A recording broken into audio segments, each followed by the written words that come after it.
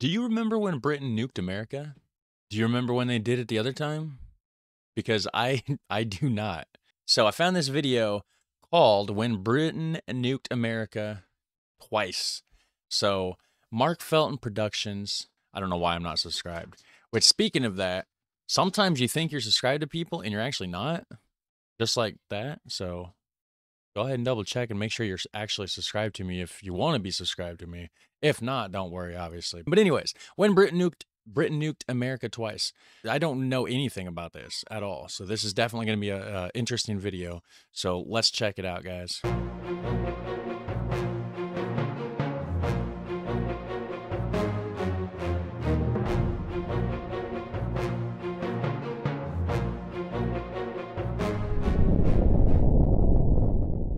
In the 1960s, Great Britain nuked the United States not once but twice.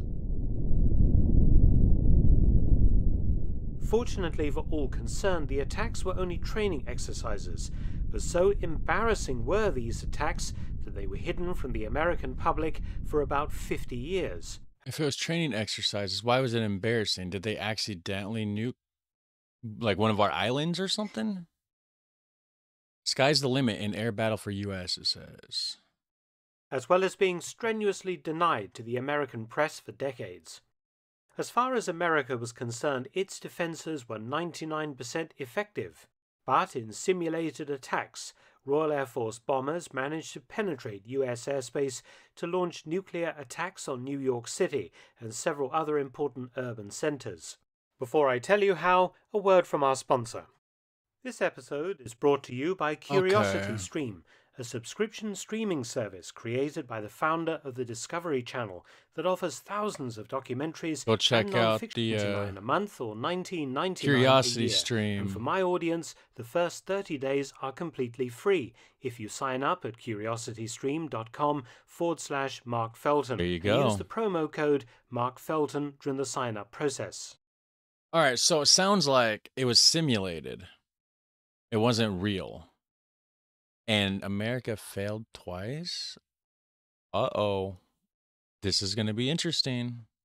Curiosity Stream, the best streaming service for lovers of history. It might be. I don't know. I've never checked How did out. the British manage to penetrate the world's most heavily defended airspace? The answer is surprisingly simple and consists of two words Avro Vulcan. Is that that airplane?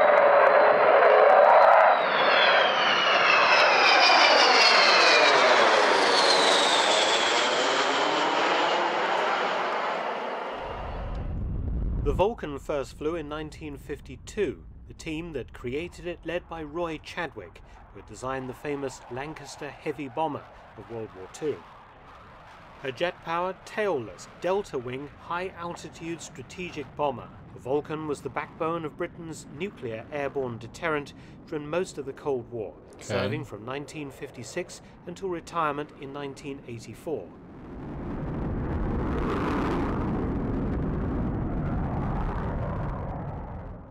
This is the story of Exercise Sky Shield, when Britain nuked its closest ally, exposing how the Soviet Union could have done the same for real. In 1960, the United States decided to run the largest test of its air defenses in history. Okay. Exercise Sky Shield 1 occurred on the 10th of September 1960, and all commercial air traffic over the US and Canada was grounded, amounting to a thousand US commercial flights and 700 general aviation aircraft, plus a further 31 foreign flights due to land in North America. The US Why would they ground the flights if it was a simulation for an attack? In real world situations, you wouldn't just have that. It would just, the attack would just happen while you still have all this air traffic. So I don't know. But then again, that kind of makes it more pathetic that they lost twice, like the, the United States against the, you know, and let the British nuke come in basically because it's like you didn't have nothing else to distract you. What happened?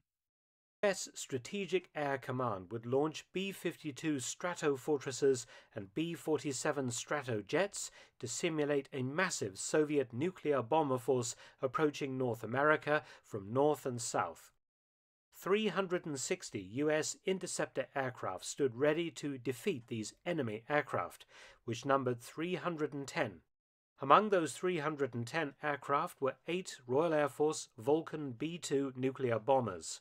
A flight of four flew from Scotland, while the other four launched from the British territory of Bermuda in the Atlantic Ocean.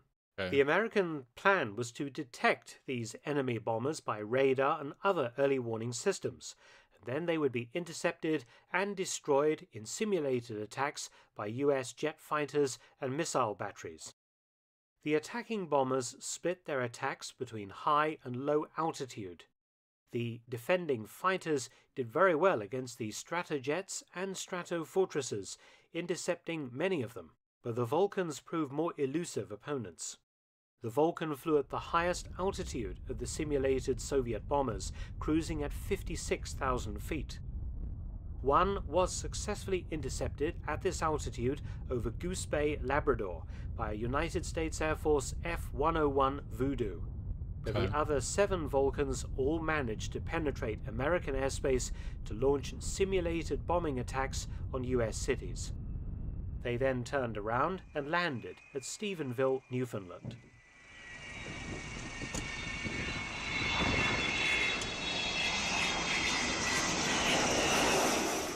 The question was how had the Vulcan managed it?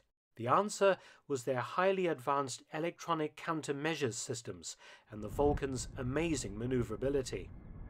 For example, the flight of four aircraft that approached from Bermuda were successful because three of them put up a wall of electronic interference that prevented interception, while the fourth Vulcan carried out a simulated nuclear strike. This was all rather embarrassing for Strategic Air Command, which quickly buried all stories about British bombers having nuked US targets and confidently assured the American public that US air defenses were, as I said, 99% effective. But they lied. What? So, wow, this isn't good. It's like clear. I mean, clearly there's weaknesses anywhere, but it's the way the world's going. It's not going to be that long before one of these aren't simulated anymore, and it's the real deal. How long? How long before that happens? You know. And the in the United States military is so arrogant in in thinking that they're the best that it wouldn't happen. You know what I mean? To where almost uh here in the United States they probably got a relaxed state thinking there's no way we would have an attack on our soil, which that's that's when the bad guys get you, you know, when when you're not thinking about it, right? They catch you off guard and you think that everything's fine. When you think you got it, sometimes you don't got it. Hopefully we got it. Would hate for something to happen, of course. Hopefully nobody wants to nuke us. I know they want to, but hopefully they don't. Hopefully they don't. However, the following year, the Americans invited the RAF to take part in Exercise Sky Shield 2. Perhaps the US AF was determined to show that the Vulcan's previous success was only a fluke, a one time only event. Sky Shield 2, which occurred on the 14th of August 1961, was an even bigger event than the first one. It caused 2,900 US and Canadian flights to be grounded, affecting 125,000 commercial passengers. Jeez. During the exercise, 125 US and British bombers would be pitted against 1,800 fighters and 250 missile sites, and over 200,000 Air Force personnel from the US and Canada.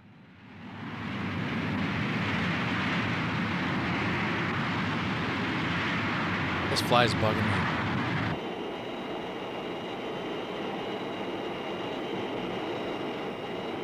Coming up on 16 and a half seconds. Now, continuing.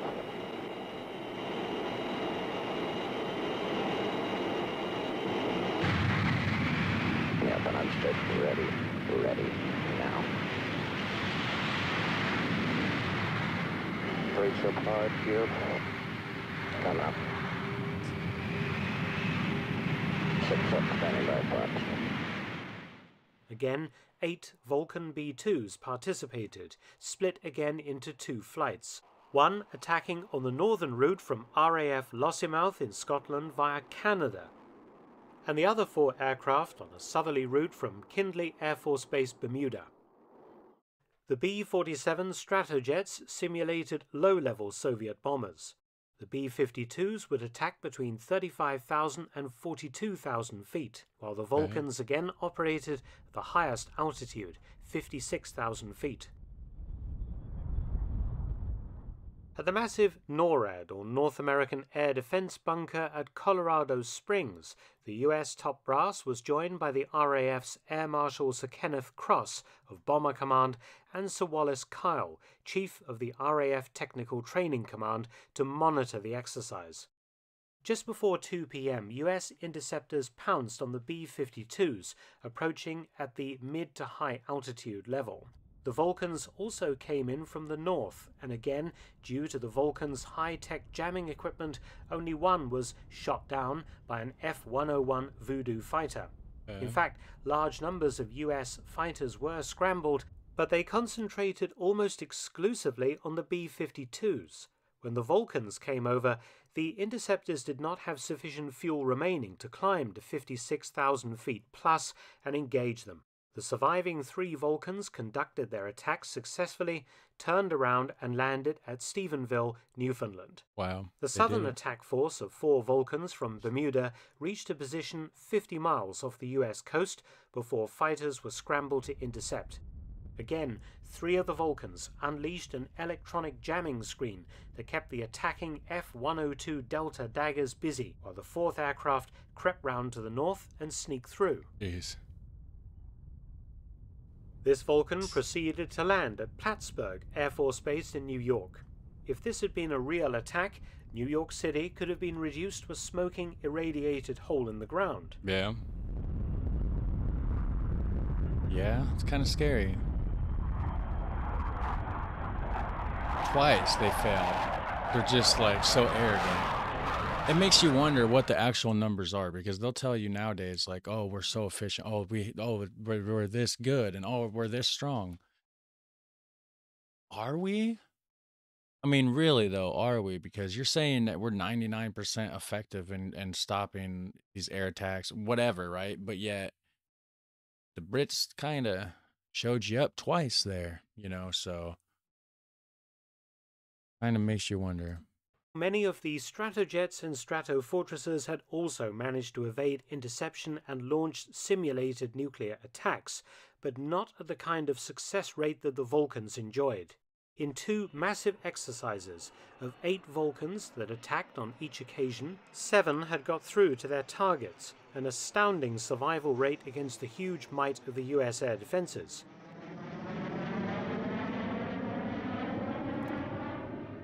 The Vulcans showed that with the right aircraft, America could be laid wide open to a nation ending assault, yeah, something which the Soviet Union would have been very interested in.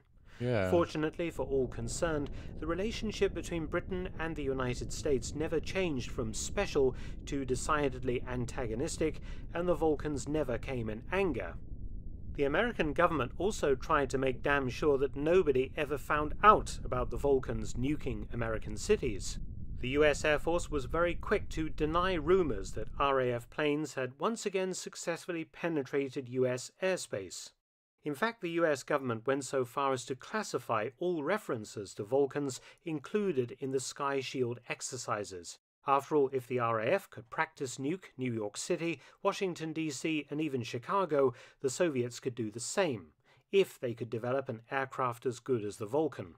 As far as Strategic Air Command was concerned, the Vulcan episodes had never happened, and the US was well protected, and that protection, as I said, 99% effective. The Vulcans' successful attacks on America were only fully declassified in 1997. Yeah, and then what? All people have to do is study this stuff. Study the Vulcans, study their capabilities, recreate a, a, a plane like that, or somehow acquire an old Vulcan and reverse engineer it. it. It's not inconceivable to think that some bad people would have some bad ideas with this. It's not good. long after the Vulcan had left British service. Many thanks for watching. Please subscribe and share, and also visit. All right, so go check out Mark Felton Productions original channel. And uh wow, so Britain nuked America twice, guys. So the United States military maybe not quite as powerful as they say. Kind of makes you nervous, don't it? Or, or me at least. I live here. Uh, luckily, I live in the middle of nowhere, not close to any targets. I don't think so. Hopefully, right? Fingers crossed. You guys have a super fun, awesome day, and I'll catch you in the next one. Take care. Bye.